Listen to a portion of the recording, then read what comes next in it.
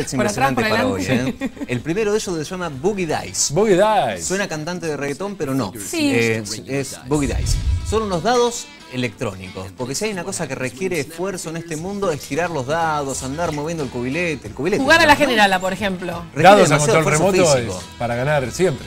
requiere demasiado esfuerzo físico. Entonces estos muchachos que dijeron, vamos a inventar unos dados que tienen, son obviamente la forma del dado común de seis caras, con un motorcito integrado adentro, un micrófono, batería y hasta luces LED, que ya te voy a explicar para qué sirven. ¿El tamaño es igual que un dado común? Igual, exactamente igual que el dado común. Pero esto es para hacer trampa, es para pelita es tabures. un poco más pesado. No se puede hacer trampa porque el motor ese lo que hace es que el dado simplemente salte y gire libremente. No se puede detener, no se puede nada. ¿Y reacciona como estamos viendo o con una palmada o apoyando la mano sobre la mesa dando Vos un- le podés grabar órdenes, entonces no sé, lo que trae de fábrica es que hagas un aplauso o un chasquido de dedos, pero le podés grabar un orden como, no sé, dado girá, y los dados empiezan a girar. Esto inventado hace 50 años, se llama Ludomatic. No, no, no. Claro, el Digo, centro o del sea que ya no, no tendríamos ese incentivo que es el batido de los dados cuando estás jugando a la general y sentís que se golpean El dentro famoso del vaso. dado cargado que lo El separaba sabía que que lo hacías así en la cúpula. Tac. Y el, el beso que le dabas al, al- al cubo Claro. así y ahí hacías el ajite y tirabas los dados. Hay que ir olvidándose de todo eso. ¿no? Mirá la salidita de Andrea, ¿no? Y hasta tiene. ¿qué hace hasta tiene las Y la lucecitas riña de gallos y después cuando viene la policía. Que hable de los bolos.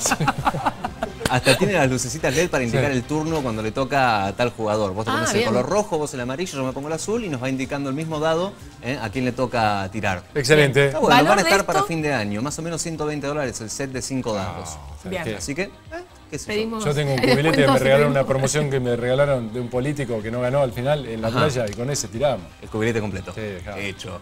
Vamos al segundo, si te parece, del día de hoy. A ver. A ver, cuando yo era chiquito me acuerdo que había salido, era novedad, furor total y absoluto, el famoso reloj retroiluminado Sí. que tenía un delfín en el medio, de distinto color. Mirá. Tenía- luz azul o verde y tenía hasta un delfín en el medio. No era muy cómodo, que digamos, y la verdad es que se terminaba rompiendo, ¿no? Rápidamente. Era bastante, bastante Berreta, berreta. Berreta, esa es la palabra. Eh, han inventado un reloj eh, que está pensado específicamente para chicos chiquitos. Se llama Octopus, como si fuera un pulpo, Sí, si no me equivoco. pulpo. Eh, y lo que hace, en vez de mostrar la hora o esas cosas, directamente muestra alertas a través de símbolos. Entonces le indica a los niños, por ejemplo, cuándo es la hora de lavarse los dientes, ¿Sabes que me cuándo es la hora de lavarse las manos, cuándo es la hora de bañarse, ir Me al gusta. colegio, Bien. etcétera. Esto se programa anteriormente, obviamente lo harán los padres programando los horarios que tienen que los chicos.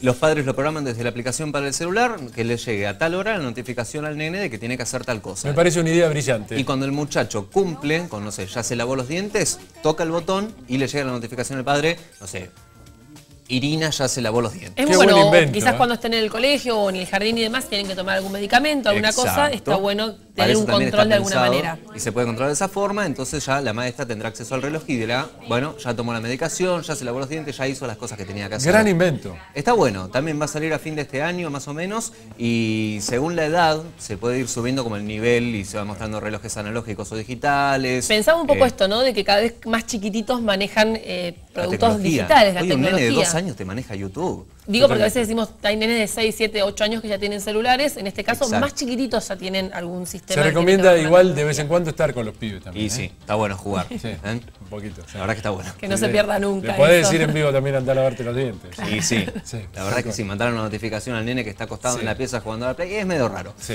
Pero bueno, es así la tecnología. Me gusta, un gran invento. Vamos al tercero. ¿Te acordás que la semana pasada te conté que Motorola iba a anunciar algo nuevo a través de Lenovo, que es la fábrica que lo adquirió, que supuestamente iba a volver el Motorola B3, al final Sí. no? Bueno, finalmente presentaron esto que dicen que va a ser la revolución de los teléfonos celulares y tabletas y me parece que No. van por el lado correcto. Ah, ya. Como estás viendo, es un smartphone que se asemeja a los de antes, que eran un poco más largos. ¿De qué me sirve a mí que se doble, Nicole? Sinceramente. que te lo puedes poner en la muñeca y usarlo como reloj.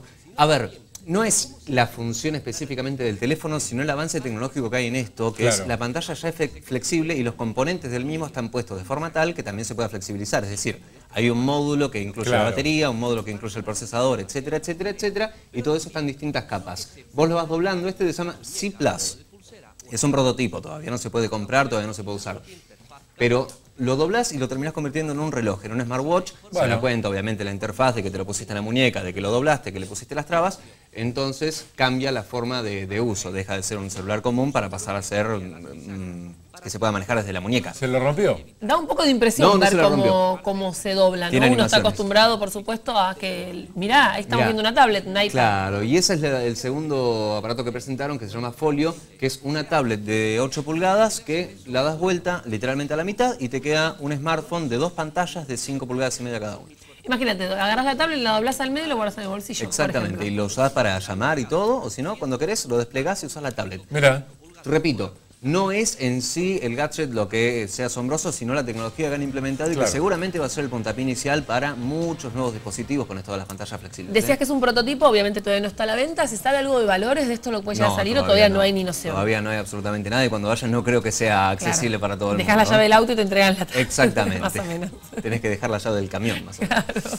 Totalmente, bueno, muchas gracias, querido. ¿eh? Después tenemos noticias y todo eso. Sí, sí, se queda con nosotros, Nico, en un ratito vuelve con más información. Y hablando de tecnología, viste, cuando llegan esas cosas de tecnología que realmente te simplifica la vida, Remicop siempre se renueva para vos, incorporando nuevas tecnologías para que te sea cada vez más sencillo